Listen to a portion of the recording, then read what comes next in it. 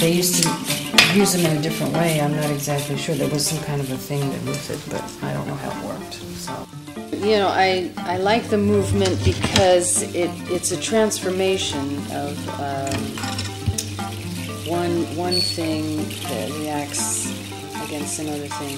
And it opens up so many possibilities, not only in the way it moves, but how it's transformed and uh, all of those things uh, for me have to do with the way we think, the way we feel, or something, uh, some sort of transformation, or the way something moves that will remind me of a situation, or you know, a situation that you're in, and mentally and emotionally. Sort of a primordial feeling in the sense that I, you know, I'm looking for something that evokes something else. Uh, souvent, à, à, la fin, il y a quelque chose qui est attaché, qui n'est pas métallique. Et il faut que j'observe d'abord le mouvement pour savoir un peu ce que je suis en train de faire. Ça se dévoile dans le processus du travail.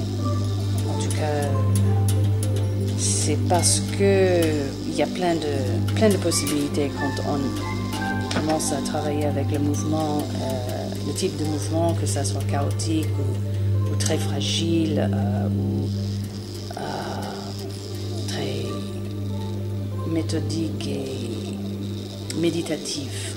Donc j'essaie d'utiliser des différents mouvements pour, pour évoquer une, un état d'être. Voilà.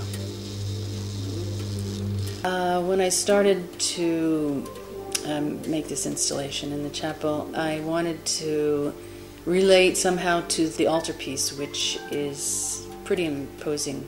And there were ladders in the, uh, the painting in the altarpiece, which there are always in any deposition or uh, um, taking the body off the cross. So I decided to use the ladder since it is a symbol that I use a lot and like a lot because it's uh, a symbol of a connection between earth and heaven. I had some ladders at home, and initially I was just going to make a large ladder, very big one. And uh, as I was making it, uh, I decided to use an old uh, dead almond tree in the back of our house and continue it so that it became a, a sort of a tree and a, kind of a, a path. Something organic, something that would lead you from a very solid and um, kind of direct form, very functional form, to something that is very winding and fragile and organic and very airy too, that kind of breaks out into space.